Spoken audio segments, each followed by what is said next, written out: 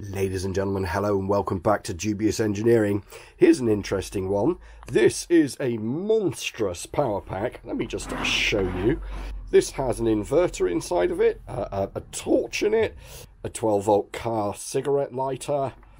Turning it over and we get four USB ports, a power button charge port, and then on the top we have a little light switch. this has been very kindly sent in by a good friend of mine who loves his fishing. Let's tear it apart. Let's have a look at it. But first of all, a big thank you to Paul and a picture of his enormous fish that he caught.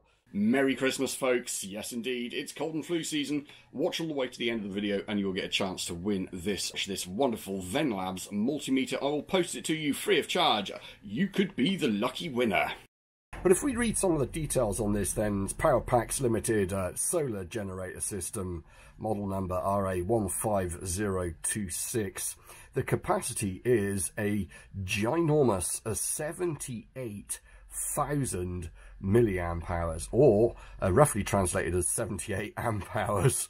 Uh, 150 uh, watts of power out, and I guess that'll be with reference to the uh, mains inverter that's uh, inside it. And we also have 12 volts at 10 amps, USB 5 volts, and then we've got a 15 volt 4 amp charge input on it. So yeah, it's really quite an interesting little beastie. We've got airflow, we actually have a fan are built in here as well. Pretty solid sort of ABS plastic. So a nice case. We'll, we'll definitely be repurposing this. Paul gave it to me because it doesn't work. It stopped doing its thing. Right, let's get into the electronic side. This is the bit that we all really want to see. So that 7800 milliamp hour cell is in here. Um, and that, whoops, and, that, and, there's a little torch uh, here. Sorry, I didn't mean to pull that apart. We'll, we'll actually be putting that back in. But ultimately, we've got a little lens here and uh, a little LED, which is fitted to an aluminium heatsink. So uh, so that's one of those little 3 watt LEDs there. They're actually quite bright. we've got, a, we've got a, a switch here for the, for the torch, which is quite literally just a little Pressel switch. We have here a, a multi-adapter for UK, European, American and various other mains. Uh, no earth on it at all, obviously. Uh, just um, positive and negative. Sorry, positive and negative. I mean uh, live and neutral. Uh, and then uh, we have a, a, a DC lighter socket, a 10 amps, uh, so you wouldn't actually want to put a cigarette lighter in there. Uh, it wouldn't um, it wouldn't work. In fact, it would probably uh, blow a fuse or auto power down either which way. So if we have a look at the front of this here, we can see there's a control panel with an on-off switch, and nothing's actually working at the moment. We'll test the battery voltage in a minute and see what's happening. Uh, when Paul gave this to me, uh, it had a hundred percent charge written on the top of it here every time you touched a button. Uh, but Paul says that ultimately it just sort of stopped working. It stopped doing its thing. It didn't sense anything and it wouldn't turn on. But yeah, let's have a look at this PCB. Interesting. All right, front panel uh, just, whoops, fell out. And there's a little bit of uh, plastic there to protect the, the seven segment LED type display. Actually, weirdly, looking at that seven segment LED display, it's custom built. Again, it's 100 uh, uh, up to 100 here and it's got a percentage sign. It's got AC8 written on it USB 2.1 amps and in written on it. So that's all quite interesting. These four USB ports here and you can see uh, ultimately what we've got here then. Those chips and coil combinations there and there will be buck converters uh, and yeah, nothing's lighting up. Everything is still live at the moment. I've, I've, the battery is still plugged in, so we need to be a little bit careful. There's no obvious signs of chip damage when you start looking at the PCB. Um, so, I mean, obviously, you know, there's a little bit of sort of um, uh, flux on the PCB where some of the larger terminals have been hand soldered in place and that kind of thing. Uh, but there's there's no obvious reason why this is not working. There's no uh, brain burn marks or anything like that. I already disconnected the fan, which was uh, on the other case. At the bottom of the PCB here then, uh, we've got one, two, three, four MOSFETs which are connected to the step-up transformer ultimately and uh, the whole idea of all of this is to take whatever's coming out of this battery here, turn it into AC, step it up to uh, 240 volts. So yeah, that's really quite cute. An awful lot of microchips on here. There's a lot of intelligence uh, in, in, in this device. Um, but sadly, uh, that complication and that intelligence ultimately means that, that this PCB has failed somewhere and it, it will take me ages to try and understand where it's failed, why it's failed, and uh, uh, trying to get a spare chip for this and, and the appropriate firmware for that chip will be almost impossible. So what we're going to do is we're going to repurpose this uh, unit and we're going to make use of this battery and we're going to put some of our own little PCBs inside here. We're going to turn it into a huge, great big uh, lithium ion pack that we can take camping with us and charge our phones from. My wife is persistently on her iPad and her phone. So we're going to have USB-C out. We're going to upgrade this because it only had uh, USB-A on it. We're going to upgrade this to USB-A and USB-C, multiple ports uh, and, and, various other things. Uh, okay, let's get a multimeter on this battery pack here and see what kind of voltage it's reading. It's an old Fluke 77 that came from a, a marine vessel. Uh, in fact, I think it came from a military marine vessel. Okay, so we've got 12.3 volt. See, that's looking like the battery is in good shape. The other thing is when we uh, carefully pull this battery out, we can see here a number of different cables, just making sure I'm not going to short anything out. We've got, ooh, we've got two blacks, one red, and then we've got a couple of cables here. I reckon these are likely going to be thermal sensors, but they could be they could be battery balance connectors. Um, so, oh, hello, this has got something written on the back of it. Let's just read that. Does that say 76 amp hour? Okay, yeah, yeah, yeah. So this says a 78, 78 amp hour. Uh, so does that look like does that look like 78 amp hour to you? First off, let's figure out what these thin cables are here. Okay, I found out what these um, what these are for actually, and uh, it's for balance charging. If I put a negative on the on the on the battery terminal here, hopefully you can see the meter. Yeah, so I'm going for the small red cable, and the small red cable is showing us four volts, and the black cable here is showing us 8.2 volts, and then the final one will be 12.3 volts. Those um, those cables there are for uh, for charge balancing this huge battery pack. So just to quickly sort of try and explain charge balancing is inside this battery pack cell there are going to be three sets of 4 volt batteries, three fours of 12 let's say, they'll probably be 4.2 when they're fully charged and maybe down at 3.6 volts when they're depleted. So there'll be one run of 18650s, another run of 18650s about the size of my finger, and another run of 18650s down there. So yeah, I'm pretty sure that's what we've got going on here. Uh, what we do need to do is, is, is, is try and secure this now uh, and protect ourselves or protect it from going bang in the night. I've already taped up the uh, the, the two uh, the two small cables. Negative, it's not ground, it's negative. And uh, let's tape that up immediately. we don't we, we definitely don't want either of those two uh, shorting together. Paul, this this this bit here is going in a bin uh, because it's just going to take me way too much time to try and figure out what the problem was with this PCB. Uh, or I might try and salvage a few parts out of it. So what we are going to keep for the project, we're obviously going to keep the LED and its associated lens here. Everything from China has a light on it. We're also going to go ahead and keep a cigarette lighter socket. We're going to keep our uh, little uh, Pressel switch here at the top and we're going to use that uh, for the LED. So uh, we'll put that in place. I'd like to put maybe a decent piece of decent piece of plastic in there. I'm sure I've either got some plastic or some wood or something that I can glue in place. Well, I found some aluminium aluminum plate and some tin snips. So I'm going to go ahead and make up a cover to fit that gaping hole here. Check that out. this is what we've ended up with.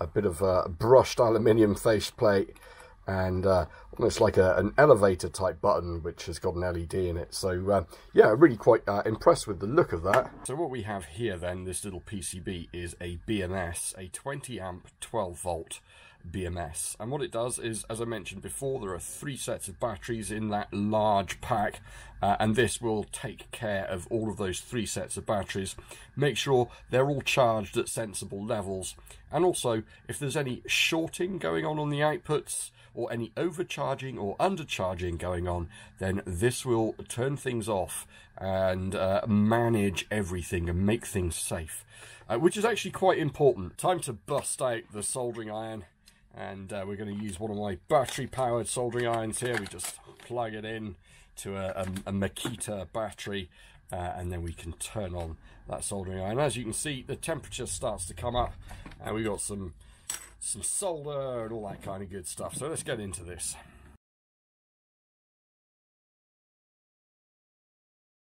One thing that we need to do here is make sure that we get each battery connected to the correct terminal of the battery management circuit. So each parallel set of batteries needs to be connected to the correct input on here. Uh, so I would say um, we, if we go just having a quick look at the, the, the, the, meter over here. Not sure if you can see that. I'll slide the slide the camera across a little bit. But uh, put that on there. That's a zero volts, and hopefully this should be ah right. Okay, so that's the wrong one.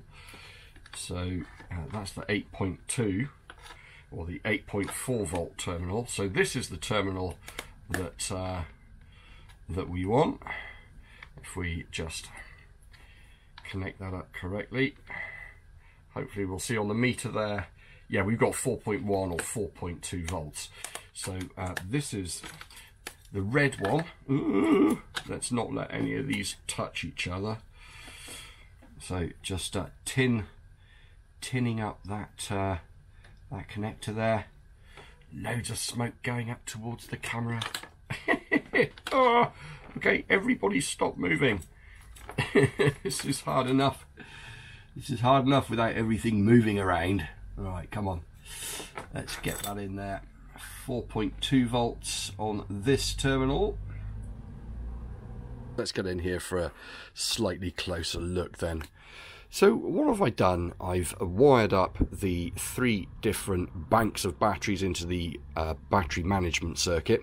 I still have yet to wire up uh, a, connector into the battery management circuit to get power in and out of the battery management circuit. However, whoops, I just gave away, I think maybe I just gave away what, what else I've been doing. So it has a, a little heatsink on the back of it. It's got a lovely little lens to it. And I didn't want that not to work. So I spent some time just wiring that up. So what I've done is I've, I've gone through the handle switch here, which you can see working and I've routed these cables into a one section of the battery, which is uh, the 4.2 uh, volt section of the battery. Now we have a flat out high power LED torch. which will last for a very, very long time. But it's nice to have that feature working again. So there's still plenty of work to do, but ultimately I've very dodgily wired in the switch without any heat shrink sleeving or anything like that at the moment. Uh, but that runs down here and connects effectively to the lighter socket now. Uh, so we've got 12 volts out of the lighter socket and we have a, usable LED. Well, excuse the sound of a 3D printers. That's because there's loads of 3D printers running in this room, uh, or making stuff that I sell. Um, so I've made some pretty good progress. I'm, I'm, sort of having a little bit of a rejig and a rewire here. Uh, now I've managed to get the LED working, clicking on the switch, which is great news. And I also have here a little backlit LCD display that tells me how much battery capacity and what battery voltage is in the battery. Uh, in order to get the uh, LED working in the switch, I managed to find upstairs a 1k resistor, which gets that 12 volts down to a couple of volts for the LED, and that's about perfect. So yeah, really starting to make some good progress here. These are the USB-C devices that I plan to put in there. They're USB-A and USB-C and they offer uh, 65 watts to 100 watts of USB-C at full power. Uh, really quite impressive little devices, super fast chargers for phones, laptops, tablets, all that kind of stuff. So yeah, really, really looking forward to getting this project finished up. USB-C and A, USB-C and A 2 units, uh, uh, an LED driving this little panel switch here, a voltage capacity meter, we've got a, a, a, light, we've got a cigarette lighter socket, we've got a main socket that doesn't work. We need to figure out now how to get all of this lot back in the box. And I've done my best to try and keep it safe by putting heat shrink sleeving over all of the connectors and that kind of stuff. Uh, but yeah, it's going to be fun sort of trying to cram it all back in the box. I went ahead and made a template out of paper that fits the uh, fits the meter perfectly, and then I found the right space on the box, and I've put tape down. I don't know if you can see this, but I put a bit of black tape down now, uh, and now I'm going to have to Dremel a hole in the box. Okay, let's uh, see if we can punch this hole out. Ooh. Alright, let's turn it on and see if it fires up. Ah, yeah. And more case chopping so we can fit these uh, little USB PCBs in place. Ladies and gentlemen, again, Merry Christmas. In the comments below, in order to win this digital multimeter, I would like you to write the words that were written on that blue plastic battery. Uh, whatever you think they are, chuck them in the comments down below and I will get the wife to pick one of the correct winners from random and I will send this to you as a little Chrissy Prezi. Cheers and beers. Well, folks, here it is the Power Pack Atom 78 amp hour 12 volt lithium ion power pack, uh, slightly modified could have done a slightly nicer job of putting my USB-C ports in here, but uh, it was all sort of glue and fix, that kind of stuff. So I've put a, a, a flat piece of 3D printed waste over the hole where the uh, main socket was. The 12 volt lighter socket is now the charge port and also um, a 20 amp output port. 20 amp, I say that with my tongue in my cheek, knowing that board is probably less than 20 amps. We've got a nice little battery voltage monitor on it here so we know what capacity is left in the unit and we've got our on off switch here which is like a an elevator or a lift fascia plate with a nice red LED button in it. So yeah, reasonably pleased with the way this has turned out. Might have to sort of see if I can tweak the uh, the, the the meter there. Also, uh, also we have a very bright light on it here as well, which is controlled by this push button. But all in all, this is again now a solid and reasonably serviceable beastie. Um, so yeah, I'm quite looking forward to to using this on camping trips and. Uh, probably keep this in the camper van actually. It's uh, quite a beast. In fact, I might even use it around the house for a while, see how we get on with it. Anyway, as always, ladies and gentlemen, thank you ever so much for watching Dubious Engineering. Again, a massive thanks and big shout out to Paul Ox. Love you, dude. Take care. Keep enjoying the fishing. And uh, don't forget, thumbs up, subscribe, and we'll catch you in the next video. Cheers and beers, folks. Bye for now.